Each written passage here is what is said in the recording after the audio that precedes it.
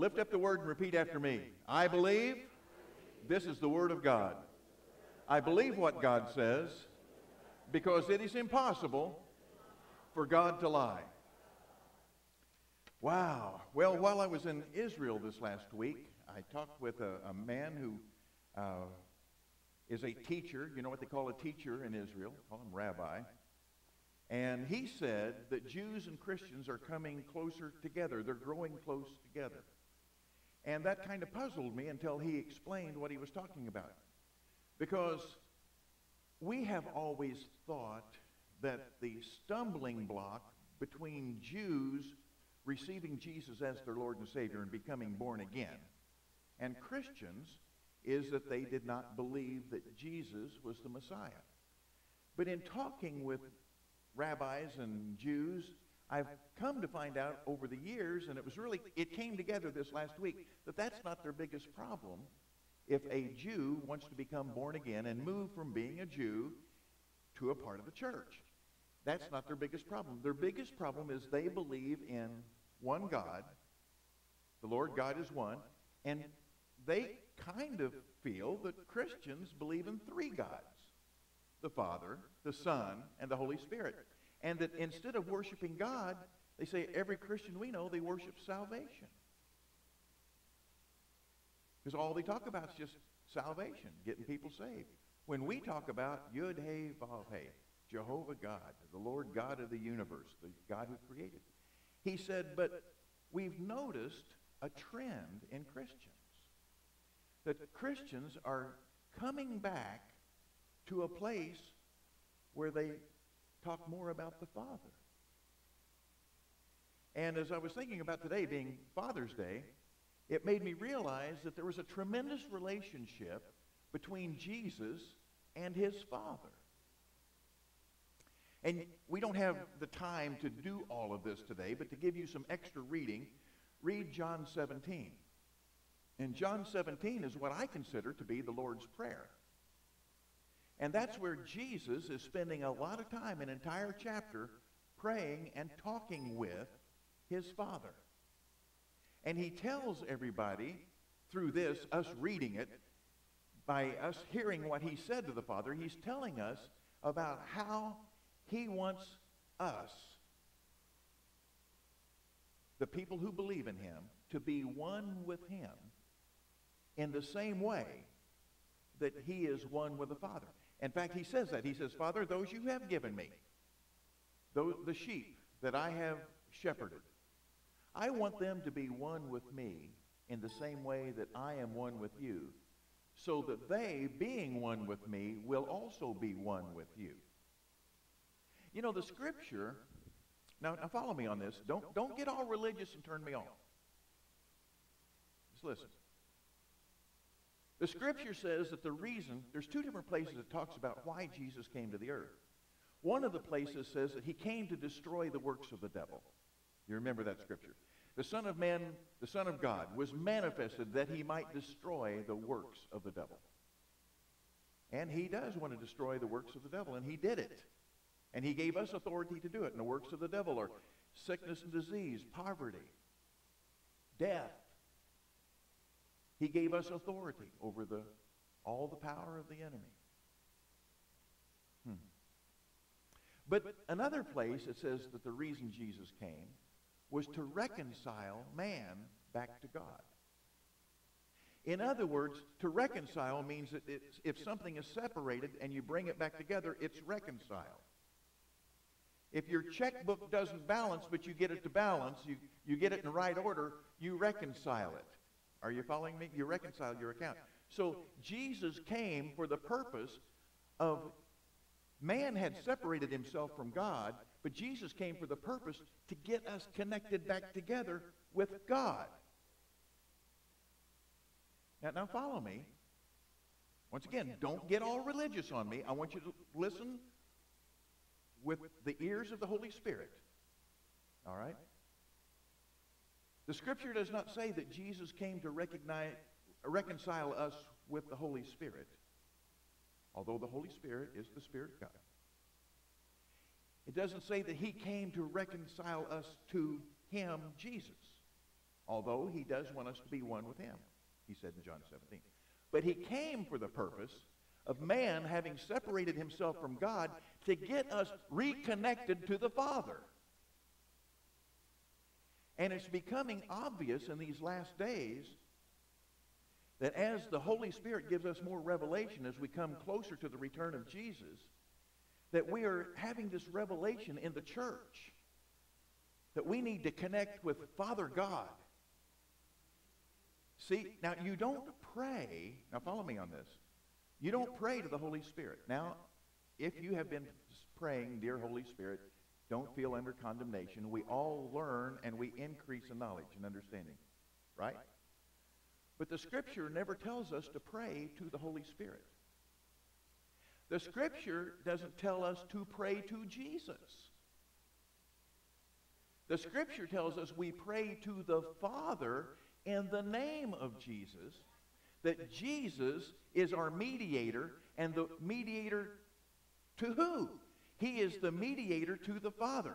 So when we pray, it's, Dear Father, in the name of Jesus. Now, once again, you can get so caught up in technicality, sometimes you miss the entire point. So I don't want you to get all super technical and run around correcting everybody when they pray. Okay? But the reality is, a lot of people pray and they'll say, when you were on the cross, or when you died for my sins. And they're talking to Jesus. And I'm not saying it's wrong to talk to Jesus. Don't, don't get me, don't take this out of context. But I'm just saying, in, in general, when you pray, it's, Father, when your son was on the cross. Because you're, you're praying and talking to the Father. And you're allowed to talk to the Father because of what Jesus did.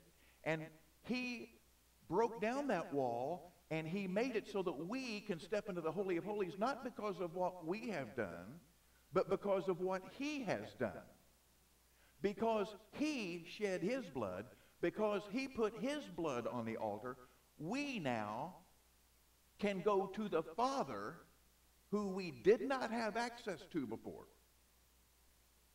You did not have access to the Father to talk to him until you received Jesus as your Lord and Savior. And once you received Jesus as your Lord and Savior, his blood allows you to pray to the Father in his name. Why is it that when we pray, usually at the beginning or at the end or someplace in the prayer, we say, Father, in the name of Jesus, and then we, we go on. Why is that? Because without Jesus, you have no access to the Father. And let me tell you something. It is the Father who loved you so much that he sent Jesus. Have you ever just stopped and thought about John 3.16? It says, for God so loved the world. Now, now, Jesus is God. We know that. He's a part of God. But it doesn't say that Jesus loved you so much, although he did.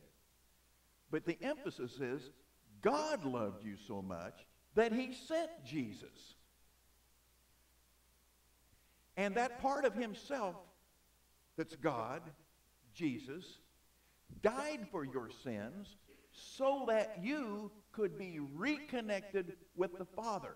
Now, there's a big deal about fatherhood. This is why we, as men, as fathers, we are a reflection in our lives and should be a reflection of the way Father God is. Turn with me to Galatians chapter 5, verse 22. And I'm going to give you the character of God.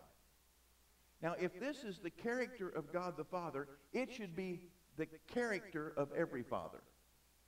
The fruit of the Spirit is love, joy, peace. And just ask yourself, men, hey, and don't be judging other men, women. Saying that in love. That was supposed to be humor. But, but you know what I'm talking about. We're not talking about pointing your finger at somebody else. We're just, men, judge yourself on this. Are you walking in the kind of love that the Father walked in? Father God. Joy, peace. Now, when I say joy, that doesn't mean you got to be just a silly person and goofy all the time. But it does mean that there, there's got to be joy in your heart. And that joy is evident. You know, Jesus talked about how what was in your heart came out of you. So you have these things. If you're a born again believer, you, you're not trying to get these things. You've already got them. Men, if you're a born again believer, these things are in you. You may say, well, I'm, I'm just not a joyful person. Well, that's your fault. But the joy is in you, and if it's not coming out of you, it's because you're holding it back. Maybe you've got resentments. Maybe you've got offenses. Uh, Reverend Ted, he taught on offenses while I was gone. I wonder why he waited till I left to do that. but, but, but I, I heard some of it. I, I watched you on my little iPad for a while. I tell you what, that was a great sermon. I'm telling you, it was good. Y'all need to get a copy of that. But if you're a man and you're walking around and you're all offended, offenses, just being constantly irritable and ticked off at people, that'll keep your joy from coming out. You know, don't, don't go to the Father and say, Father, give me joy. Because the Father's going to say to you, hey, when you became a Christian, I did. What are you doing with it? Peace. You have peace. Long suffering. And that doesn't mean suffer for a long time. That's just, that's an old English word. Today we would say patience. Do you have patience? oh my goodness. I remember, my, you know, my dad's in heaven right now, and he's looking on. He's a cloud of witnesses right now, so he'll verify this. But my goodness, my, my dad was just not real strong in that area of patience. I mean, you know, you'd go on vacation, it was like, yeah, there's the big ball of, tw- ball of twine. You kids see that, you know? you know, we're, we're, we're coming up to Disney World. Watch it as we go by. But, you know, I'm not saying that's all bad. But I'm just saying this. You should be patient, men. You can, you can practice patience. Now, that doesn't mean just be slow. Some people say, why are you like this? I'm just being patient. No, no, you're just being slow. Okay. Kindness, goodness, faithfulness, verse 23. Gentleness. You know, you can, you can be uh, somebody that's big and tough. This, this week, uh, one of Robbie's good friends is uh, one of the security guys for Kenneth Copeland Ministries, and he was over there with us for a couple of weeks. And this guy, I'm telling you, he is he is big. He has got arms like this, and he stands like this at the back. I mean, he is like security plus CIA. I'll break your leg security. I'm telling you. And he, he has this look. In fact, there was this one Palestinian vendor that came down the hill over in the Mount of Olives while we were having a lesson there, and he was going to try to do something. And, and so this guy says, take your stuff, go back up the hill. The guy says, but I was trying, he said, I said, take your stuff and go back up the hill. and he, he so, but I tell you what, he's one of the most tender guys I've ever met in my life. You know, and then he looks over at you and he smiles and winks, you know. You can be big and strong and be tough and still have a soft heart. You can still be gentle. Men, it doesn't just, you, you may be, you know, 325 pounds and be able to bench press 400. But the thing is, you can still be gentle. It's kind of cool to be gentle. And self-control. What does that mean? That means Actually, you have been given the ability to control yourself above and beyond what other people try to do. Some people try to control you. But the reality is, is if you let them, it's because you let them. Because the reality is, is as a born-again believer, you have control over yourself. You say, well, no, I don't. Well, that's just because you've decided not to. But you have it. There may be something blocking it once again, but you actually have it. All right. Well, I want to give you real quickly today, because I know that everybody's wanting to take Dad out and buy him a steak dinner and a new Maserati. But, uh, so I'll, you know, so we can get down to the car dealership quick, I'll, I'll, I'll, try not to take a long time today. But uh, there are characteristics that make a man of God. And what makes a father? You know, the reality is you may be born with all the right equipment, but the reality, that just makes you a male. That makes you a male. That doesn't make you a father.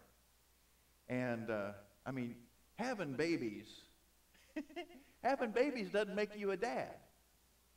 You know, there was a world-class famous musician who died just a few weeks ago. And he got all kinds of accolades. I mean, this guy has awards hanging everywhere. He was one of the best musicians out there. I personally really enjoyed his music. And uh, I'm not going to tell you who he was. But I really enjoyed his music over the years. And he died. But he was, he was a great man, a great musician, but he was obviously a lousy father. He had 12 children by 12 different women. And that's not in itself the problem. The problem is, is because of all that he did, he never became a father to any of them. So making children doesn't make you a father. It just makes you a procreator. But you may be a procreator and a father. That's the good news. Yeah, I don't want anyone thinking you can't be a procreator. That was humor too. All right. A father excels in four areas. Let me give you these four areas real quick. Love, discipline, intimacy, and value. A true father excels in those areas. Love is the example of how you live for others, not how you live for yourself. How you live for others. Instead of being dominated by lusts and desire, and not giving benefit, now follow me on this, this will take a while to think through, but not giving benefit to others at the expense of others. Love is when you actually want somebody else to have something more than you want to have it. Doesn't mean you don't want to have it, but you just love somebody else so much. For example, you may be in the, in the smallest sense of the word, you're waiting in line at the post office and you see someone who is behind you in the line and your heart just doesn't want them to have to wait. Now, you know you're going to be waiting in line, but your heart doesn't want, and you step back and you say, no, you, you go ahead. Now, that's, that's the very simplest form of it. But when you give somebody else something that you want, but you want them to have it more than you want you to have it. You know, Jesus paid the price so that you could have. He died so that you could live. In fact, he said this. He said, greater love hath no man than this, than he laid down his life for a friend. Let me ask you this. Will you lay down anything for anybody? If you love, you will. Love is a continual giving process. Love is when you want somebody else to prosper more than you want to prosper. Doesn't mean you don't want to prosper, but you just get a, a joy out of somebody else prospering. I've told this story before, but I only have so many stories. I've only lived one life, you know. Um, but we, we attended a church one time where there was a, a, a prosperity prayer group got together. And they were all praying for prosperity. And everybody in this prayer group needed it. You know what I'm saying? Everybody needed, we all needed it pretty, pretty bad. So we got together and we prayed that God would prosper the people in the group. Well, one of the couples in the group started prospering so much that the other people wanted to kick them out of the group. Well, who do they think they are? Got all that money, Rudy Tooty Duty.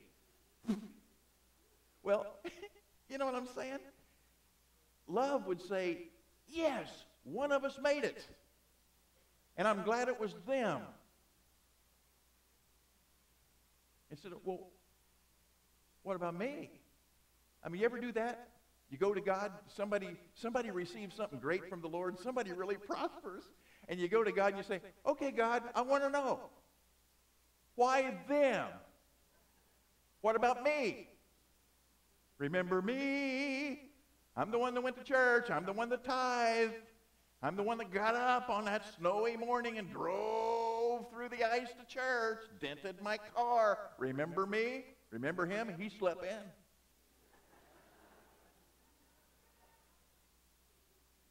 He watched football on TV, and I went to church.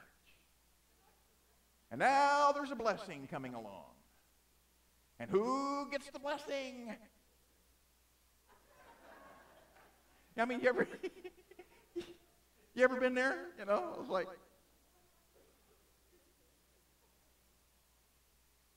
you jerk. if you really had love, you would be excited that they got blessed.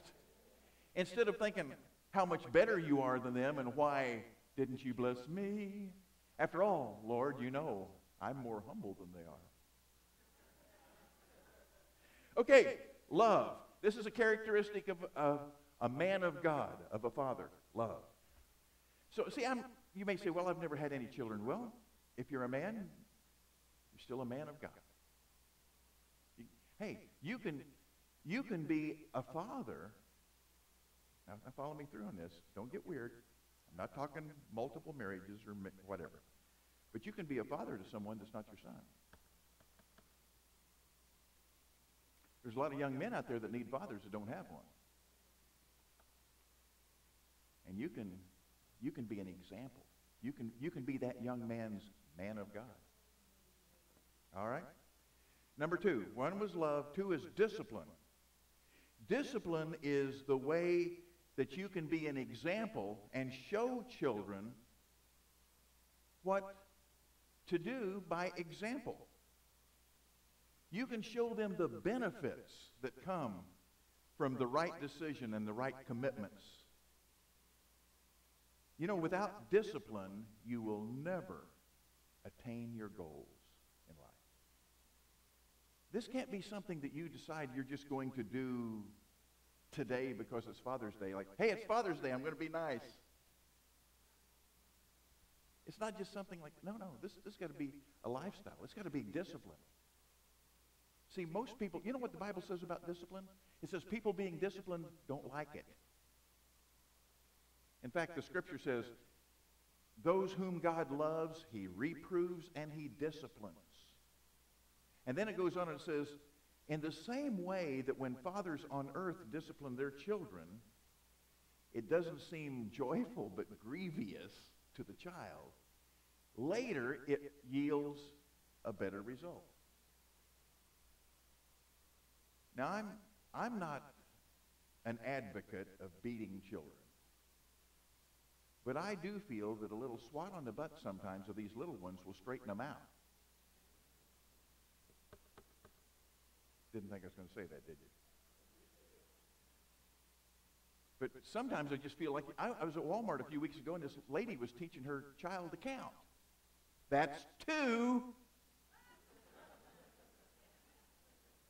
And a kid just, I mean, the kid's over there thinking, I wonder how high she can go.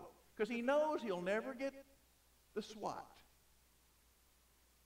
Well, Loretta and I, when we were young, we were the SWAT team. Whack 'em and stack 'em. But you know what? They turned out pretty good, didn't they? You notice when Robbie was up here a while ago, I walked over next to him. He didn't flinch. Because he knew I loved him. Ah. Okay. The third thing is intimacy.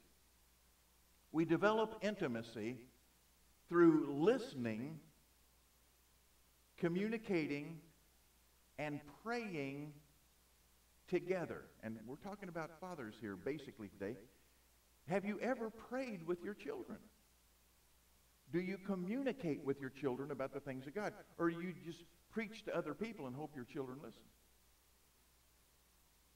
See, it's, it's really good to talk with your children about the things of God.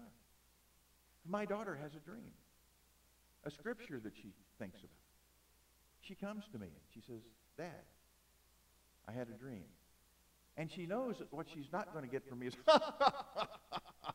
you think, no, no. I take, I take what God says to my children seriously. And if God's speaking to them, you know, then that's good. I believe when the Lord returns that we're in a situation where we have four generations on the earth right now. It's never been this way before. But uh, like last night at the wedding, Johnny and April had 15 grandchildren. Well, where's the lights? Are, there he is, right there. That's that's the the dad. So the dad of the of the married couple. See, so he's got 15 great grandchildren. So he had the great grandchildren, the grandchildren, the children, and the old folks. You know what I'm saying? I just, you know. So, all here together, all ready for the rapture of the church together.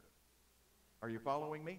So, in this situation, each generation has its differences.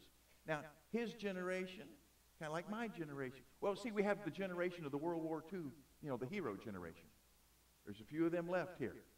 The ones that went off the farms and the cities, and they went to Europe to fight the Nazis. They went to the Pacific. I mean, they were the hero generation.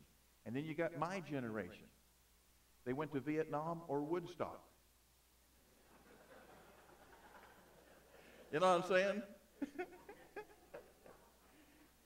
and then and then you got the next generation, which I mean, I, staying alive, staying alive, you know. And I'm thinking, I don't get it. I don't know, you know. Disco is not music; it's just an event. Um, but then, but then now we got the young generation, and the, what, what do they call them? Is that the millennials? And I don't know. I love my grandchildren. I just just like eclectic. I don't know. But all four generations have got to communicate with each other. And how do you get the the World War II hero generation, you know, to, to communicate with staying alive, staying alive. I mean, how do you do that? Or Woodstock, you know? I don't know.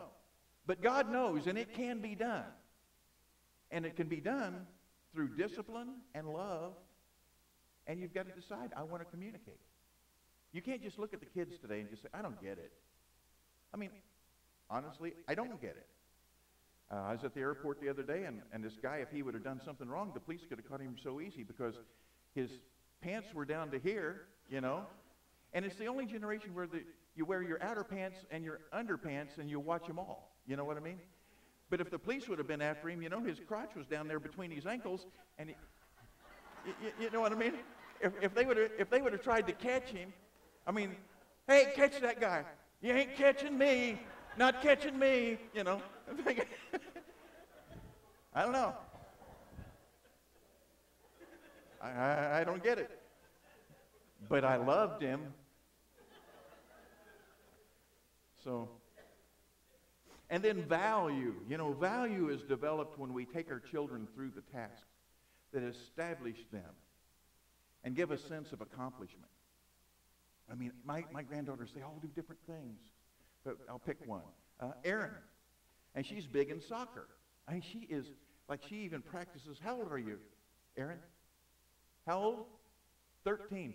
And she practices with, like, the varsity. She's in training, getting set up to train with the Olympic thing. You know, this, you know, the Olympics, whatever. But I don't get soccer.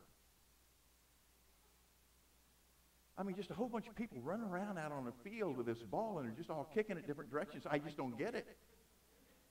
I mean, I like things like 32, 17, you know, I mean, I like that. But this, I don't, but you know what? Because I love her, I pretend that I get it.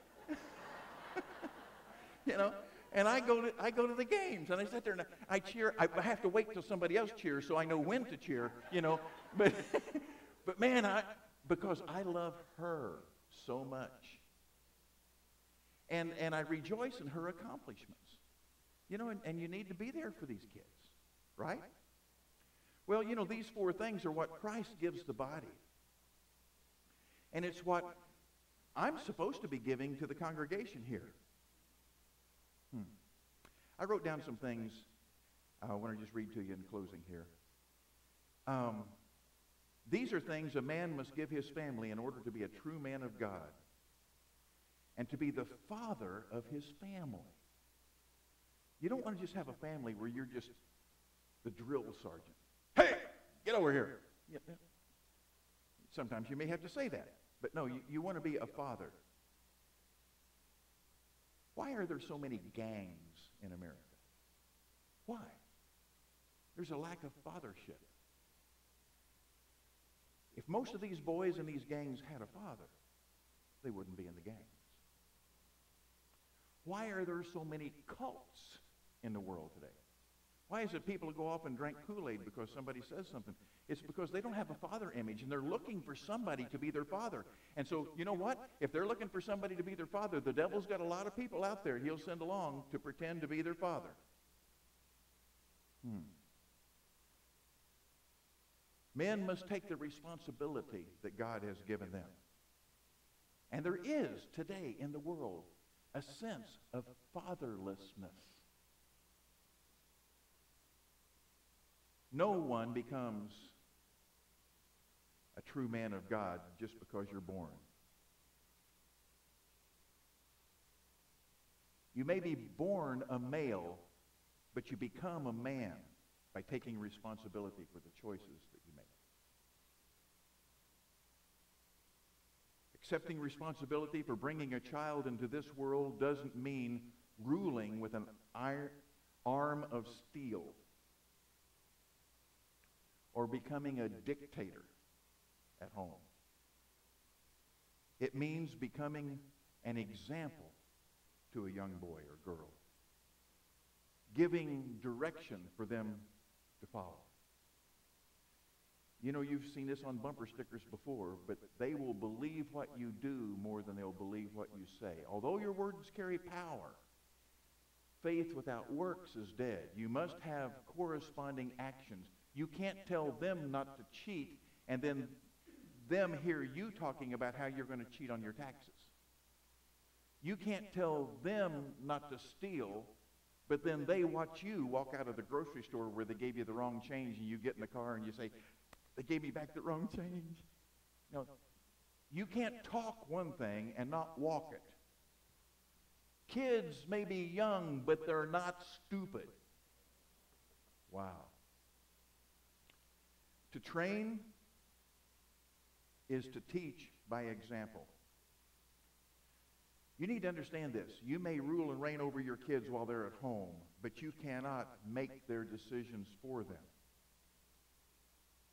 When your children observe you doing what's right and seeing the result and the peace that comes from you doing what's right, then they are going to want to do what is right.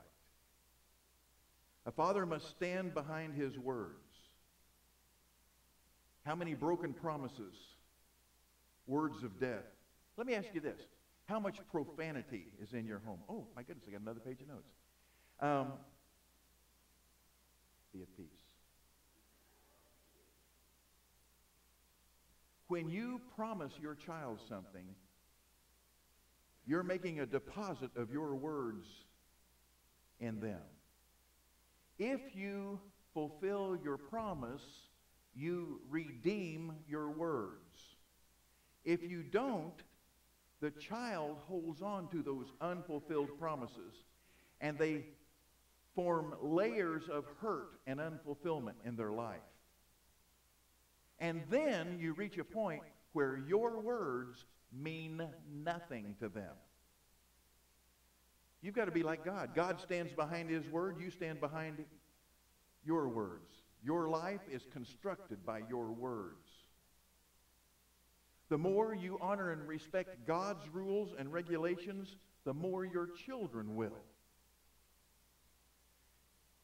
I like what Loretta said earlier, and I'll add this to it. We cannot allow our children to hear us complain or dishonor God's commands. God's creative power is in his word. When God speaks the word, it releases his spirit to bring forth into manifestation what his word has said. When God's word gets into your mouth, it becomes his creative word, not yours.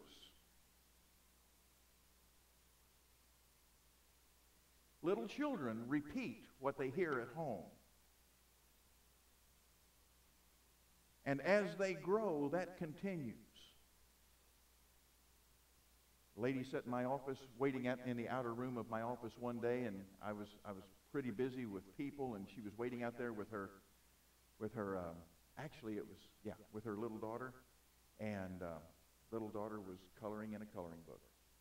And so as the people left my office and I walked out, I saw the coloring book and wanting to be the nice guy that I am, dove in some applause. Uh, I went over to the little girl and I said, what are you coloring? And I reached over and just to put my hand on the edge of her coloring book. And she says, you get your blank blank hands off of my blank blanking book. Little, that's like a little kid.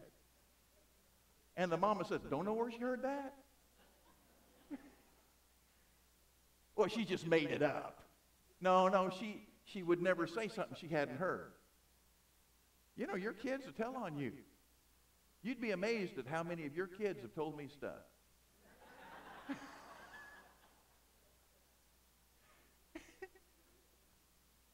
Pastor, what's this word mean?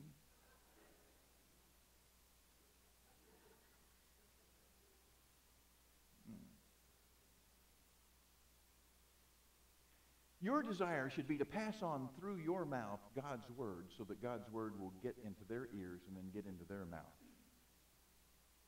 Here is the number one scripture that I call the rule of fatherhood. It's 1 Corinthians 11.1. Let's put this one up on the on the screen if we could. 1 Corinthians 11 1.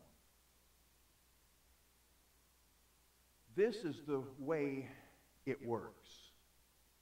Paul said, imitate me just as I also imitate Christ. Wow. Imitate me just as I imitate Christ. There's another scripture. Um, I think it's Ephesians 5 1. Angie, can you find Ephesians 5 1 and put that one up and see if I've got the right scripture here? Yeah, there we go. It is right. Therefore, be imitators of God as dear children. And it goes on to tell us that in the same way that children imitate their parents, we should imitate God. Well, what's that tell us? We're to imitate God, but what's that also tell us? Children imitate their parents. Hmm. You may not have had a good earthly image of what a father is. But when you were birthed into the kingdom of God, you got a new father, a new spiritual father. You became a son of God, and you have the perfect fatherly image. Now, you may be a father sitting out there, and your kids are all messed up because you were a mess. Or your kids may be all messed up and you weren't a mess. But guilt is not of God. Guilt is not of God. And you know what's in the past? Let me tell you what's in the past. The past. And you know when? You make a change when you decide to. And you change today or whenever you decided to change. And from that point on, it's just like when you got saved and your sins were forgiven. When you repent of being a crummy father, that's all forgiven. And now, today, you be who you're supposed to be today. And if you are who you're supposed to be today, God's fine with that. God's not concerned about the past you've repented of. He's concerned with today. Today is the day the Lord has made. Rejoice and be glad in it. Today is the day of salvation. God is the God of I am. He's not the God of yesterday and he's not the God of tomorrow. He is a now God. Wow. Although he is the God of yesterday and tomorrow, because in him there is no time.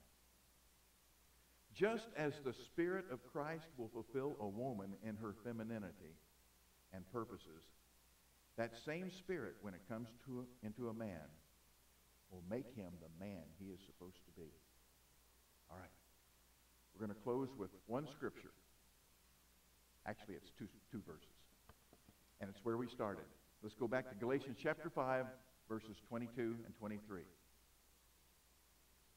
We'll put them up on the board here. But the fruit of the Spirit. Now, men, understand this. If you're a born again believer, first of all, if you're not a born again believer, get saved today. Because once you decide that Jesus Christ is going to be the Lord of your life, once you make that decision, then old things pass away, all things become new, you're a new creation, and the Spirit of God moves inside of you, and you have this. Now, if you're not born again, you don't have this. But if you're born again, you have this. And if you're born again and have this, then there's no excuse for you not operating in this. It's just you got to get rid of whatever it is, the unforgiveness, the hurt, the, the offense, whatever, just get rid of it. Just get rid of it. And then this stuff will flow out. It's not a matter of whether you can get love, joy, peace, and patience in you. It's a matter of whether you can break down the barriers to allow the love, joy, and peace that's already in you to get out. All right. The fruit of the Spirit, this is what you have. You have love.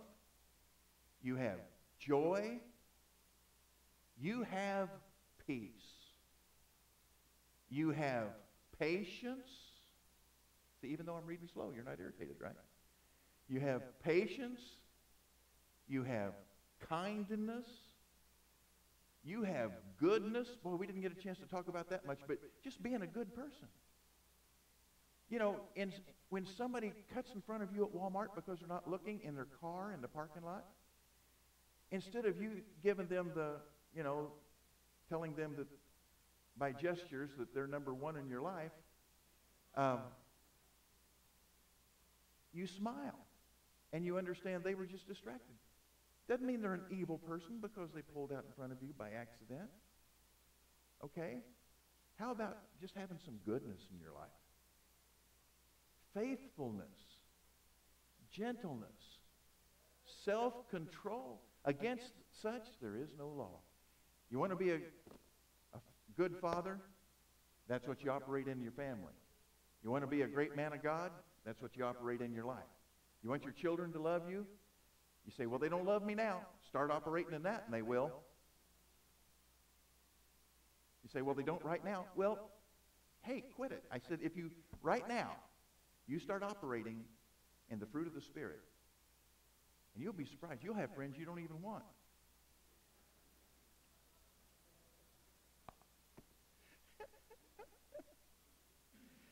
All right. I'd like the altar ministers to come forward right now.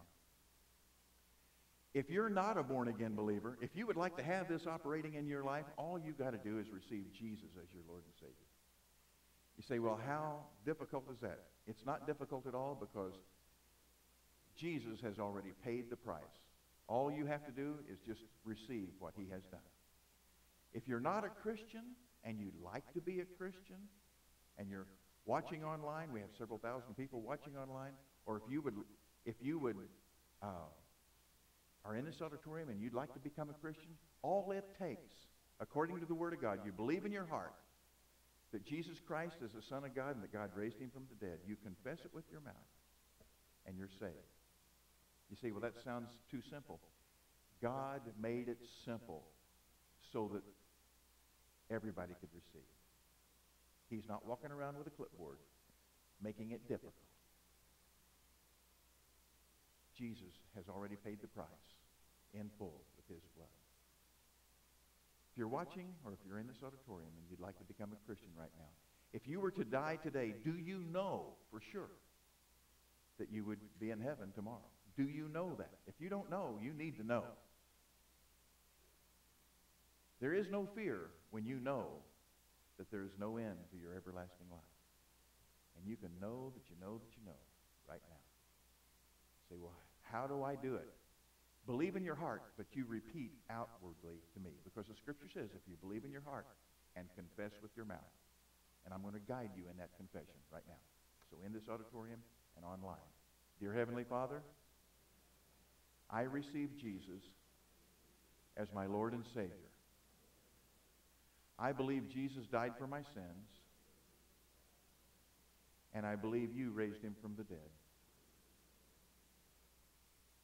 I repent of my sins, and I thank you for forgiving me. I will never deny that I'm a Christian. I love you, Father. In the name of Jesus, amen. Now, if you made that confession and you meant it in your heart, then according to the scriptures, you were born again. You are now a believer, a Christian. You're born again. Now, what you need is you need to find yourself a good church, a place that teaches from the Holy Bible, Old and New Testaments. Not a mosque or a temple, but a church. All right? And you need a Bible, Old and New Testament. If you don't have a Bible, if you can't afford one, send us an email. We'll send you one anywhere in the world absolutely free. Thank you